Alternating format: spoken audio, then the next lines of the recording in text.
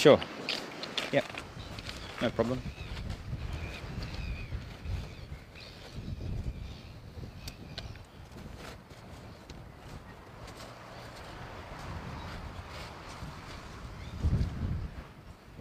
All sorted? No, no, you're it's all right.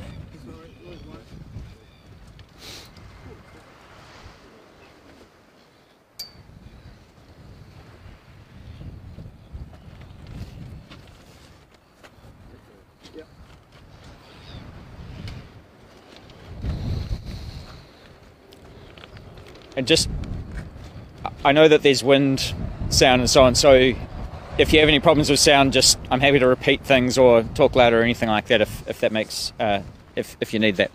O tēnā koutou katoa, a ngā mihi nui kia um, and good morning. Uh, look, we're here down at Owhiro Bay again, which is where we uh, came when we launched the consultation on the National Adaptation Plan.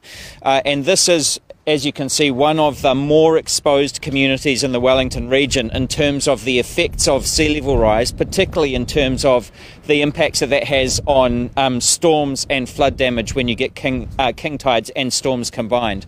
Uh, and over here behind us, you know, you can see uh, the seawall that's been rebuilt that holds up the road, and and you know, what we're going to see is more of a need for this kind of activity uh, all around uh, coastal regions of Aotearoa, New Zealand. Um, over the course of the last year or so, there have been New Zealanders all over the country who have experienced firsthand the increasing impact of climate change in their communities. So people are now experiencing, with increasing severity and increasing frequency, the floods, the droughts, and the storms that are associated with a changing climate. Now, sorry, that's just wind. That's, you know, uh, as, as we know, um, the best solution is, of course, to stop putting pollution up into the atmosphere that causes climate change in the first place. And if we can do that, uh, then that will mean that the climate crisis doesn't get much worse than it already is. But over the course of the last century or so, global temperatures have risen already by about one degree. And so we are already experiencing a change in climate, and that is already having an impact uh, on weather patterns which lead to those uh, droughts and storms and floods that we're experiencing uh, more and more at the moment. So, in order to stop putting the pollution up into the atmosphere in the first place, that is the role of the uh, emissions reduction plan that we launched in May alongside the budget. Uh, and um, uh, having said that, we actually do need to adapt to the effects of climate change that are already happening. And that is the role of the National Adaptation Plan that we're publishing today. Now, we have known about climate change for more than three decades. Uh, and, you know, during the course of that time, there were plenty of opportunities for us to start to take action on climate change uh, and on adapting to the effects of climate change. And to tell you the honest truth, we did not take up that opportunity as a country or, frankly, as a planet. What that means is that we are now in a situation where we're having to do more work all at once in order to uh, in order to get started. We've never had a national adaptation plan before, and as of today, we do.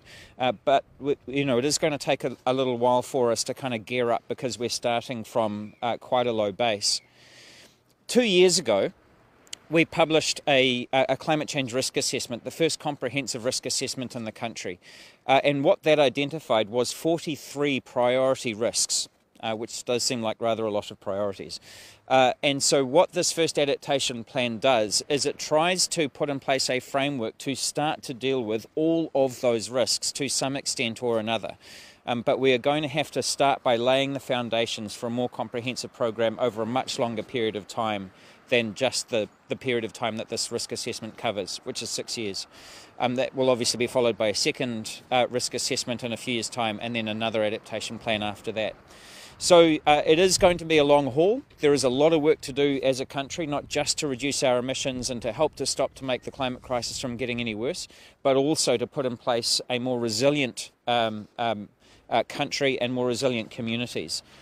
The upside is that if we do this work, uh, then I think people will notice that their communities are more resilient to the kinds of floods and droughts and fires and so on that we're experiencing. And the kinds of costs that are already being layered on communities and onto property owners and on insurance companies and onto local authorities, that that can actually start to go down rather than to go up because if we continue not to take comprehensive action, those costs will continue to accelerate.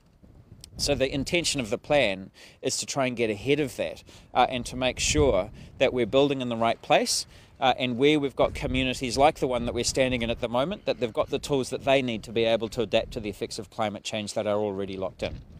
Nō reira, tēnā koutou, tēnā koutou, tēnā tātou katoa.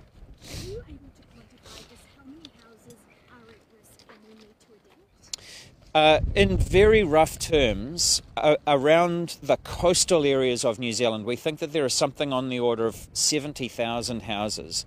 Now, that's just coastal areas. We don't have quite as good data on, um, uh, you know, uh, river floodplains and so on. And actually, it's um, f- flood risk uh, in our kind of alluvial uh, areas that is actually more present uh, than even than kind of coastal coastal hazard guidance. So it's a significant number, obviously, uh, and and it's not confined just to houses, right? There are kind of farms, there's commercial uh, property, there's um, public infrastructure, whether that's owned by local authorities or by central government. So it's you know it's a significant risk that we're facing.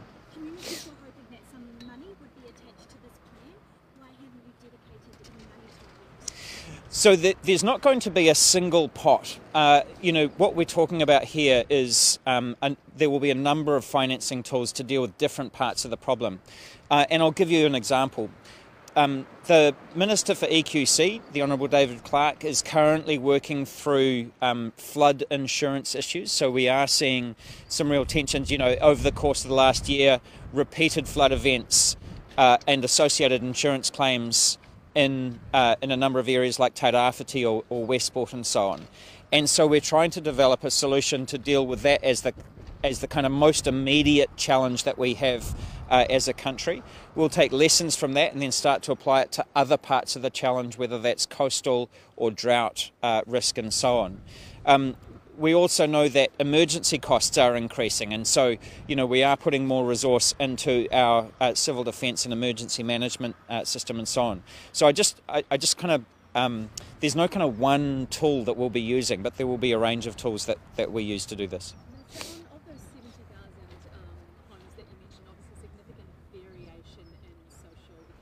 Yes.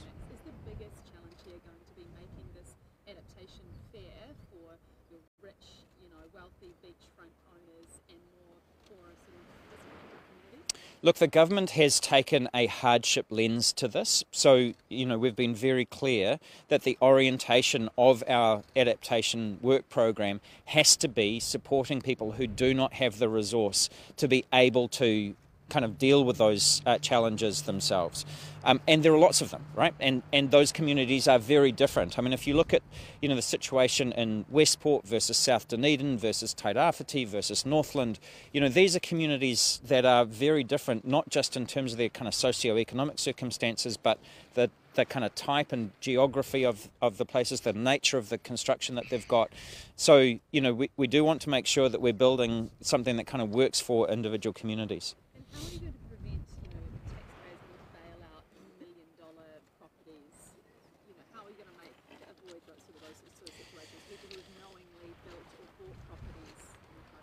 Well, I mean, first of all, we need to make sure that we're building in the right place in the future. And whilst we did issue guidance in 2017, you know, that's been unevenly applied. And so, one of the things in the adaptation plan is that we're going to become more directive uh, about where we're able to uh, to build in the future. Having said that, as we know, we've already got developments in a number of places that are increasingly at risk. We've been very clear that the, um, the risk and the cost has to be appropriately shared between the property owner, their insurance company, their bank, local government, and central government. Uh, and and like I said, we're taking a hardship approach here.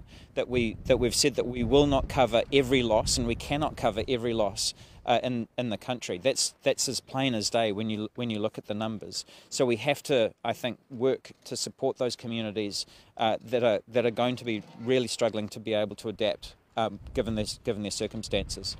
People sort of wondering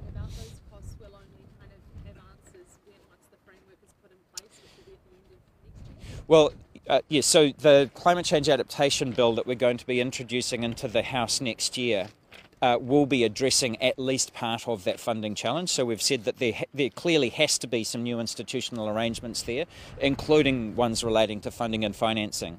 Uh, later this year, we'll be publishing the work program so that people can kind of see the different bits of the jigsaw puzzle. Because, like I said, there's no one tool that we're going to be uh, that we're going to be using here. Is there an estimated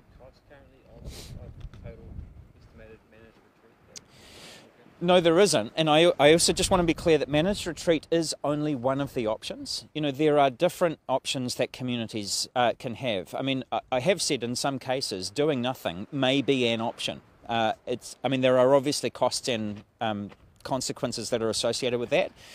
Accommodating the changes which you know may involve uh, raising houses up above their current level, and that is actually already being done in some parts of the country, like around Edgecumbe, where we had those floods a few years ago. Those many of those houses have actually been lifted up and, and placed on pads or stilts and so on uh, in some of those areas. Um, defending from it, and you know here you can see you know you've got flood defences being being put in place through the use of seawalls and so on. That's an option, and then also you do have uh, the option of managed retreat. And all of those uh, have some costs and all of those have some consequences. What we want to make sure is that communities have really good information available to them about those different options and that they're able to choose the one that makes the most sense for themselves.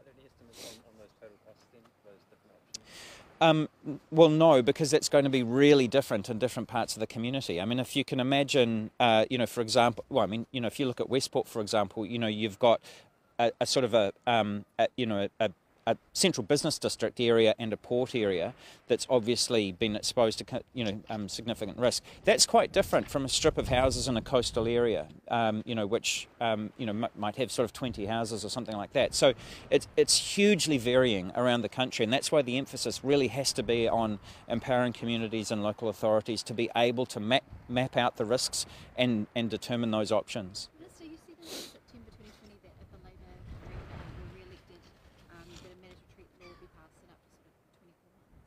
Um, and that'll be into next year. What, what's the what's behind the delay? Um, the work program, I mean, there, there's a prioritisation uh, kind of challenge within government, and obviously, um, you know, having the COVID challenge has put a lot of pressure on the public service, um, but also, frankly, it is an astonishingly complex area of public policy to work through.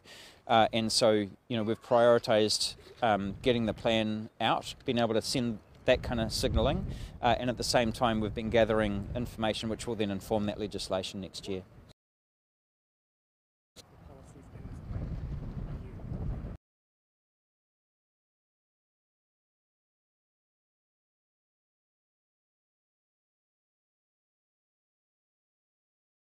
government uh, that is part of this plan. So, for example, the work that David Parker is leading on the resource management system reform is a huge part of this program because ultimately uh, adaptation is to a large extent a, a planning function and the resource management reform is a total overhaul of our planning system. So what we wanted to do through this plan is to kind of highlight that, to draw those things in, to show how all of that fits together. Um, there are also some things that are currently in train uh, as well and, and there are some other areas of policy where yet made final policy decisions. You have to remember this is also a plan for the next six years. Um, so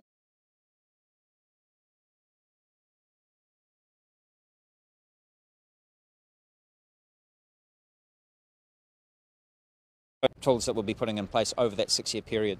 but it's not there's nothing new in this per se, it's more of a kind of gathering together all the government and kind of pulling them. No, there, no, there, there are definitely, um, you know, quite a number of new actions uh, in this. I mean, I'll, I'll give you a couple of examples. Um, uh, Treasury next year um, will be publishing, uh, for the first time, an assessment of the total cost. To your question, uh, of uh, climate change.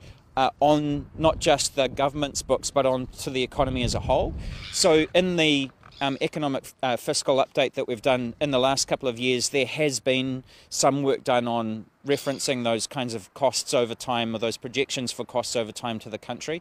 But there's never been a comprehensive, focused report on that. So that's that's new. They'll be doing that.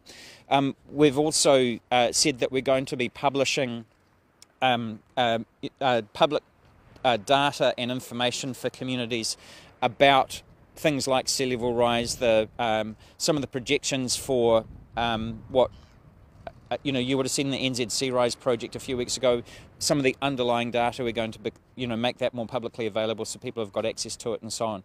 So there are a number of things that we have made, actually, some of which have, as a result of the consultation, uh, where we said, well, let's bring that bring that forward. And yes, there are also some work programs that we're going to get started on, but which will mature over time. Given there aren't any sort of big, uh, tangible funding decisions just yet for sort of the 675,000 New Zealanders living in flood-prone areas, what comfort can they take from this plan? Well, I think the fact that we have a plan and we've never had one before, the fact that we actually do have our public agencies now working on this and saying, look, this is a real risk and, the, and we do need to, uh, to get ahead of it. Uh, You know, there are um, communities that are already experiencing these uh, these effects, obviously, and you know we are putting more resource into our emergency management and response program, and you can see that in this plan as well. So that support is already there, and we are scaling that up. Um, and having said that, you know what we we actually do have time uh, to be able to start this process because you know whilst whilst these risks are in front of us, they're not all going to occur all at once everywhere in the country. So we can say, look, how we how we resolve this is by having good planning, is by putting in place uh, those good decision making frameworks, is by working out funding and financing mechanisms to help people to adapt, because it isn't all going to happen tomorrow. But for people who are experiencing those effects today, that support is all, is available. Minister, um, can you give any more details about um, what councils will be required to put on LIMs under, under the? So the, I mean, final detail on that hasn't yet gone through uh, cabinet, so uh, I can sort of only answer part of that question. But you know, up until now, we have had a bit of a haphazard approach where councils have, in different parts of the country, tried to do different things. Most of them haven't been terribly successful. So what we've said is we need to be able to backstop those local authorities in order to enable them to do the right thing and to be able to make that information available to property owners. Uh, Minister, uh, giv- given obviously many of the impacts are already being felt, and um, you know, looking at the plan, many of many of the actions, you know, are several years still, still to come. I mean, does this really the urgency of the situation? And are you, are you satisfied with the timeframes that have been laid out? Well, Mi- oh, sorry, Michael. I, I mean, as I said before, I am frustrated that for the last three decades, successive governments have not paid any attention in any real form to the challenges that we face from the effects of climate change. And so, you know, we had to start somewhere, uh, and I'm not satisfied that the, you know, that those kind of lost decades uh, have left us in a very good position because, you know, as I already said, th- those communities are already experiencing these uh, effects on an increasing scale, you know, both severity and, and frequency. Uh, and that is tremendously frustrating, you know, because if we had started earlier, it would have cost us less, and many of those communities would already have, you know, whether it's seawalls or if they'd started the process of, you know, adapting to those effects, you know, they would already be in a much more resilient position. But putting on, I guess, what happened in the past, are you satisfied with this plan that your minister is responsible for? That it's, that it's you know, going to make things happen faster? Look, I am the first person to say how frustrated I am at the incredibly slow pace uh, that of government in responding to the climate crisis. Uh, and so, you know, th- I think that is that is tremendously frustrating. But we've, you know, now that we've actually got a statutory plan in place, I think that you will see the momentum pick up. Uh, one of the things about this plan and the emissions reduction plan that we released the other day is it's not static. So it's not, you know, this, by the time we get to the next plan, this plan will have changed quite a lot. We are trying to put in place a system for being able to, uh, quite a dynamic system for being able to adjust to circumstances as they emerge and to put in place accountability mechanisms in government that we've never had before. So I think with that, I do have confidence that we are going to be able to respond to those, but I do share people's frustration that it has taken us a very long time to get started as a country. Yeah, in the um, information that was released today, um, pertaining to things like drought or fire and things, there seems to be a lot pointing to coastal, Yes. some to rivers, and but I could see anything really about those other. Yeah, so in, in the assessment that we did two years ago, it did point towards um, a, a number of risks uh, over time, and they include not just the kind of obvious ones of coastal and, and river plain, but also um, flood risk, fire risk, and also risk to health, uh, changes in disease vectors, um, and uh, food production, uh, access to um, fresh water, and so on. And so this plan is designed to start laying the foundations for a response to all of those risks. But some of those risks are crystallizing faster than others. Uh, and particularly in our uh, river plains where we do have a number of settlements and cities around the country, you know, we know that those communities are feeling those effects more rapidly. Having said that, you know, you talk to any farmer in the country, they will tell you that there is an increase in the drought season, that the severity of those droughts is increasing and the frequency of those droughts is increasing as well. And that is also having a tremendous impact on, on our farming systems. So we, we do need to take, I think, a comprehensive view of it. How will the online data portal work? What information will be stored there? Where will be stored? Who can access it? you know, uh, just a wee bit ahead of me on that one. Um, so, uh, you know, I, I, am not in a position to kind of release the kind of technical details of that, um, but it is based largely on uh, information that we already have in some of our public institutions like NIWA, for example, um, and you know, we're kind of changing the model to really try and make that much more open source, much more accessible to people than it has been in the past. There will be a number of tranches to it. So, you know, we're obviously just going to start with the information that we have, but we also know that there are gaps in our data, there are gaps in our in our projections, um, and we're going to be filling those in over the course of the next few years as well. You mentioned specifically Treasury and Waka Kotahi as being sort of the first time taking adaptation into account. Yes. I was quite shocked because I thought surely these two in particular would be doing this already. You would have thought.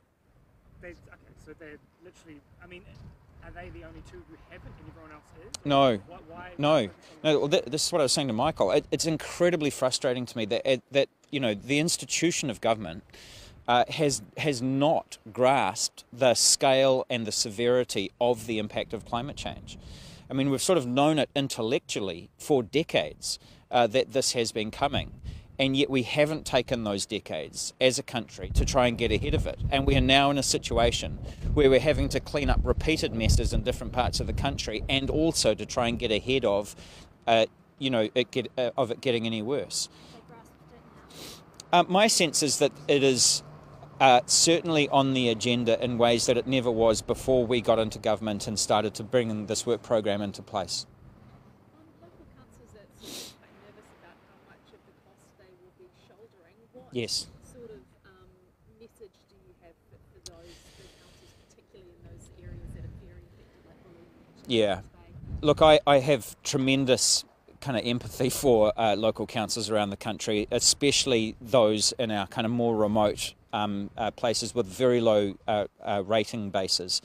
Um, the uh, local government review that Nanaia Mahuta is currently leading is considering the uh, costs of climate change and the role that local government will have. Uh, and it is uh, really significant. I mean, actually, you know, local government will have a leading role uh, in working with their communities to adapt to the effects of climate change. Um, water security and availability, sort of a lesser talked about issue. How much of that do you envisage sort of being? How, how significant is, is that? It is significant. We're seeing changes already in the pattern of rainfall uh, and water availability in the country. So, um, in some areas, we're actually going to see more rainfall, uh, and you know some people are experiencing that a lot at the moment. Um, but then long periods with very little rainfall at all, and so the ability to manage that is one of the uh, impacts of climate change um, that we're, that we're going to have to deal with. Um, the uh, work around three waters, um, the the, the kind of four big entities that are being um, put in place, they're actually going to have uh, legislated uh, requirements around taking adaptation measures into account um, because they will have a leading role in ensuring that people are able to access uh, fresh water when they need to. Gre- Green Party co-leadership nomination is closed tomorrow. Have you put your nomination in? I have. Are you aware of any other nominations? I'm not. Are you confident that you'll uh, get the co-leadership back? I am.